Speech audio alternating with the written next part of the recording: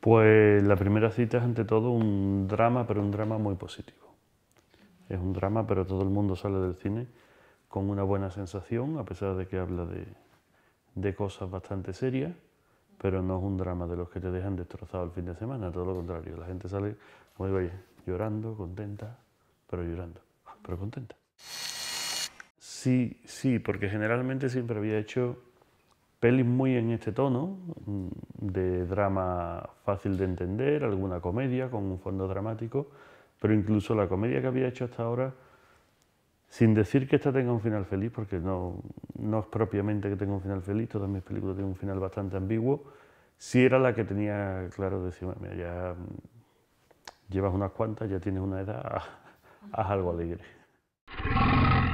Eh, a ver, para mí fue un rodaje, para mí fue un rodaje maravilloso. O sea, con todas las dificultades de un rodaje muy pequeño, que fueron días reales de rodaje 11, presupuesto muy pequeño, casi a primera toma, pero yo estaba absolutamente feliz de poder contar esta historia, entonces todo me parecía bien.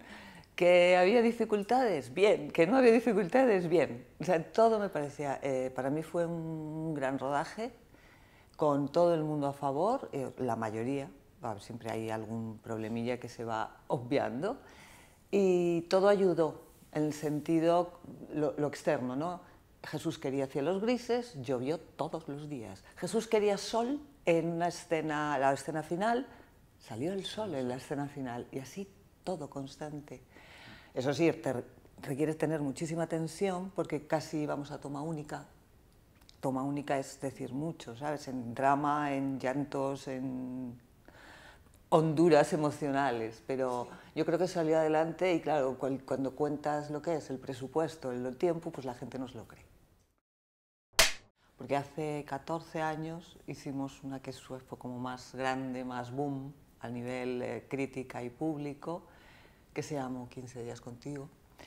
Y, y entonces él ha repetido, y gente que conoce 15 días contigo, ve los paralelismos en diálogos, en situaciones, en, hay como pequeños guiños a la película anterior, pero que no interfieren para nada en, la, en lo que es esta historia, que es completamente diferente, ¿eh? no tiene nada que ver.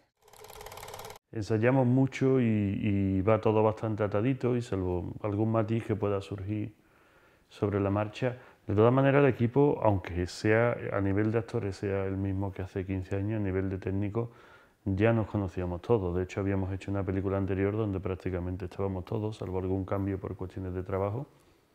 Y éramos un equipo muy pequeño, de técnico éramos 8 o 9 nada más. Y es que además en estos rodajes no solo ruedas, también casi casi que convives, compartimos coche. Hubo días que fuimos a rodar en metro. En la anterior película compartíamos casa prácticamente conviviendo todos juntos. Sí, no, guiones escritos hay ya. La cuestión ahora es encontrar financiación, que es lo más complicado. Guiones para de aquí a que me muera ahí. ¿Visibilidad? Claro. Ah, claro. Esta película es, se, estrenó, se estrenó la semana pasada. ¿El 1 de mayo? En salas, el 1 de mayo. Salimos con 13, 14 copias por ahí. Sí, 14 no 15, es mucho, no pero tampoco son dos copias, una en Madrid y otra en Barcelona, ya es un poquito más. Aquí a León, evidentemente, claro, no ha llegado. Si no llegase por el festival, pues mi hermano no la ve y mi familia, ¿no? este tipo de visibilidad y también sospecho que eh, es, al ser algo más cultural hay acceso del público, o sea, es viceversa, es para nosotros y es para el público. Es una historia necesaria, yo creo, que es lo que dice mucha gente, ¿no? Mm. Esa historia necesaria que no, no, la ves, pues si no es por un festival o por, por, por cosas así. Muy bueno, pero visto y no visto. Llegué, nos aplaudieron y me tengo que volver, pero muy bueno, muy bueno una recepción muy bonita.